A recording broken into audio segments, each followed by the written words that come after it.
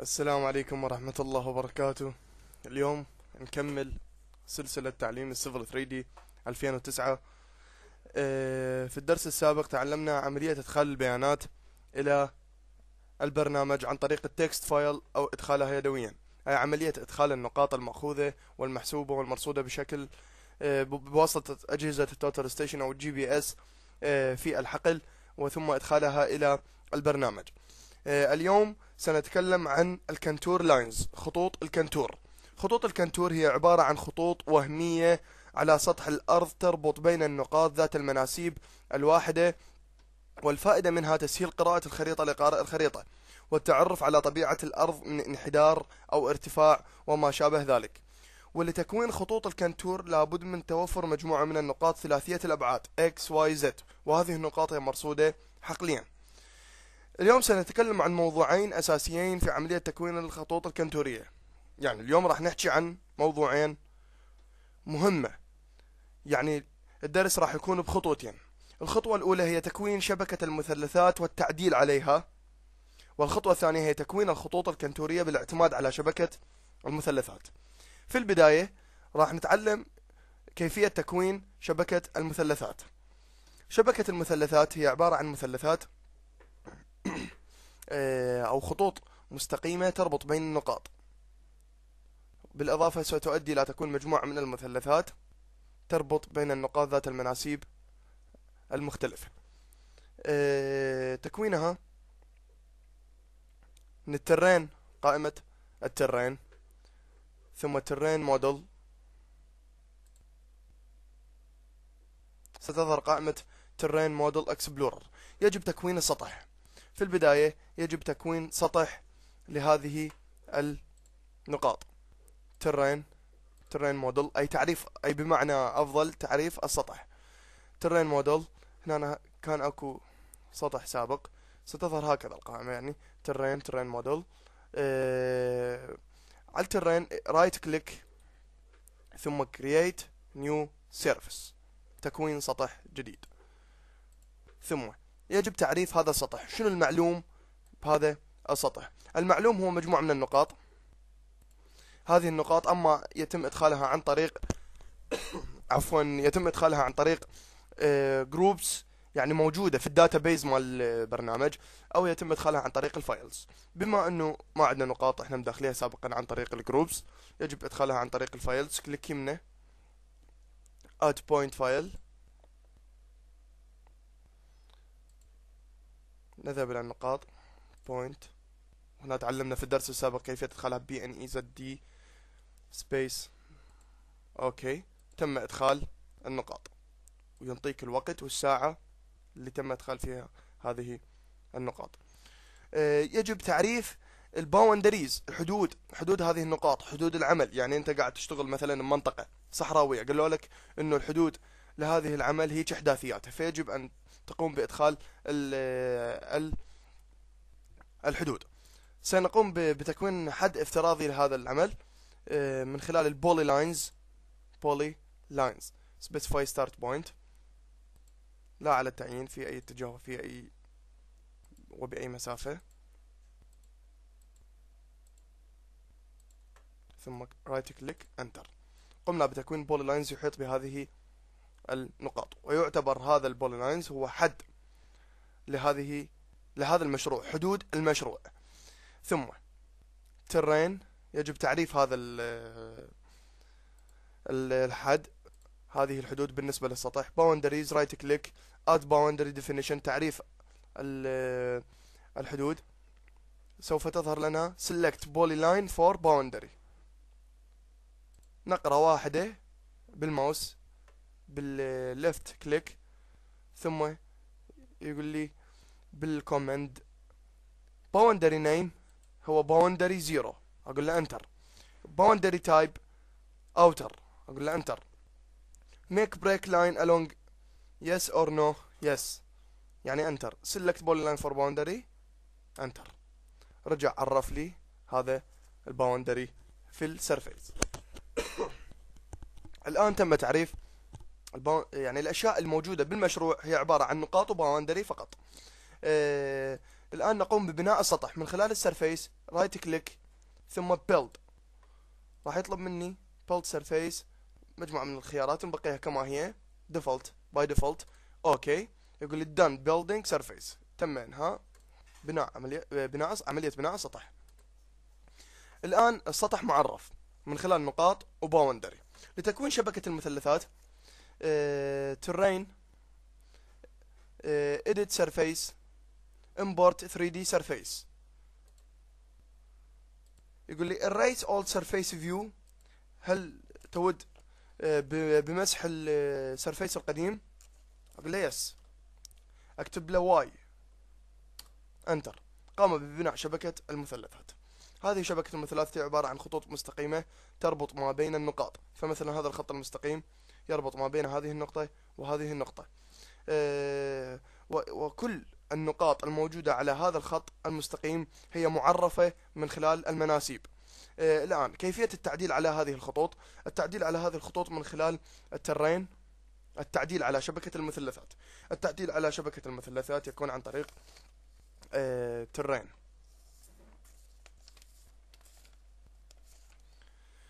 ترين. Edit surveys. الخاصية الأولى add line. هي عملية إضافة خط. مثلا أريد أن أقوم بإضافة خط ما بين هذه النقطة وهذه النقطة. يقول لي from point من هذه النقطة to point إلى هذه النقطة. ستلاحظون هنا ستتغير آه، شكل المثلثات. نلاحظ إيه، ليش تغير شبكة المثلثات؟ وذلك لا يجوز أن يحدث أي تقاطع بين هذه الخطوط المستقيمة. لأن إذا حدث أي تقاطع فإن نقطة التقاطع بما معناه فإنها سوف إيه، تحتوي على منسوبين. وهذا منافي لأساسيات المساحة بصورة عامة. لأن ماكو نقطة تحتوي على منسوبين. لكل نقطة منسوب واحد. إيه، أريد أعدل مثلا من هنا إلى هنا. سألاحظ أن هذا الخط المستقيم وهذا الخط المستقيم سيتم إلغاهما. انلغن. إيه وهكذا.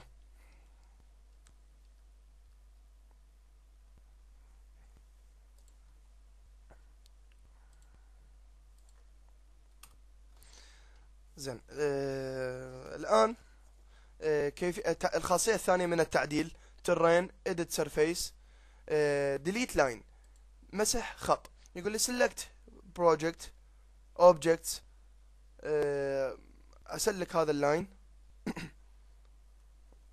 وانطيه enter نمسح هذا اللاين. أريد أراجعه. control Z رجع الخط. control Z بال keyboard. control plus Z يرجع خطوة واحدة إلى الوراء. أي بما معنى؟ هذه ال undo. آه الخاصية الثالثة ترين edit surface. Flip face. Flip face هي قلب الخط. يعني مثلا هسه هذا الخط هو متصل ما بين هذه النقطة وهذه النقطة. إذا دست عليه راح ينقلب من هذه النقطة إلى هذه النقطة. نلاحظ. انقلب من هذه النقطة إلى هذه النقطة. ندوس عليه مرة ثانية سيقلب بالعكس. وهكذا لبقية الخطوط. هذه خاصية الفليب. الخاصية الرابعة. Add point. إضافة نقطة. إضافة نقطة آه آه، سيؤدي أيضا إلى تغيير شكل شبكة المثلثات. فمثلا إذا ضغطنا هنا يقول لي ادخل elevation هذه النقطة. مثلا أنطي 100 انتر تغيرت شبكة المثلثات. خاصية الخامسة delete point يقوم بمسح نقطة. edit point يقوم بالتعديل على نقطة. فمثلا يقوم بتغيير آه، منسوبها أو تغيير أحداثياتها. الآن تعلمنا كيفية تكوين شبكة المثلثات وكيفية إظهارها. أما الآن فسنتعلم كيفية تكوين آه، خطوط الكنتور والتعديل عليها. ومن بالاعتماد على شبكة المثلثات وهذه آه، الخطوة الثانية من آه، درس اليوم. terrain. أولا سنقوم بإطفاء layer هذه الشبكة. ندخل على layer properties manager شبكة surface نقوم بإطفائها فسيؤدي ذلك إلى إطفاء شبكة المثلثات. هذا العمل قمنا به من أجل آه، عدم حصول أي تشابك بين الخطوط ال contour وبين خطوط شبكة المثلثات. أن شبكة المثلثات هي موجودة الآن. يمكن استدعائها من خلال ال layer. تفعيل ال layer layer surface ستظهر. اطفائها ستختفي. وكذلك يمكن تغيير ألوان شبكة خطوط شبكة المثلثات إلى مثلا الأحمر. enter تغيرت. آه، من خلال هذا من خلال هذه الأيقونة من color آه، الآن نقوم بإطفائها. terrain من أجل تكوين ال contour lines terrain create contours create contours. أوكي. تظهر لي قائمة contours آه، بال surface 1 اللي أنا قمت ببنائه from elevation 100 to elevation 127 هاي هو راح يقراها لا اراديا بالاعتماد على المناسيب الموجودة في النقاط المدخلة. آه، أقدر أغيرها مثلا أسويها من 120 إلى 125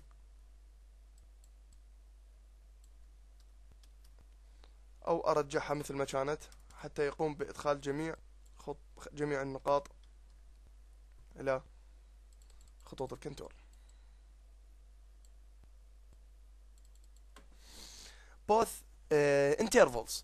Both minor and major. Major only minor only major only. uh, هذه تعني بأن خطوط الكونتور سيظهر فقط ال minor interval أو ال major interval من الأفضل أن نقوم بتكوين both minor and major. وهنا ال interval هي بالاعتماد على طبيعة العمل. فكلما كانت الدقة المطلوبة تكون الدقة عالية فيجب تصغير هذه الأرقام. وأما إذا كانت الدقة آه، ليست بتلك الأهمية فتكبيرها يكون أفضل. آه، من أفضل وضعها 0.8 ويمكن التعديل عليها لاحقا. آه، ثم أوكي. Erase old contours. Yes. Y. Enter. الآن قام بتكوين الخطوط الكنتور. هذه الواضحة أمامكم آه، في الشاشة التي تربط بين النقاط ذات المناسيب الواحدة. يمكن التعديل عليها من خلال ال terrain. contour style manager contour appearance. من الأفضل السموثينج اوبشنز وضعه spline curve. كما واضح أمامكم.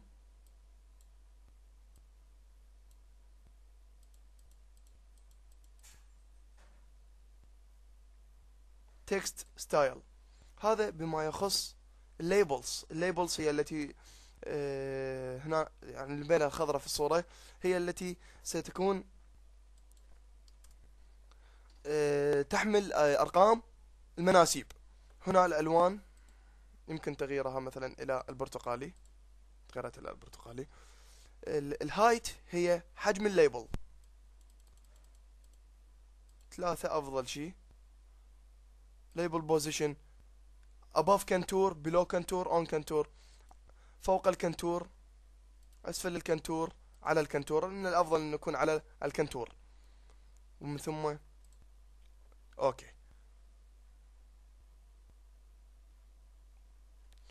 الآن نقوم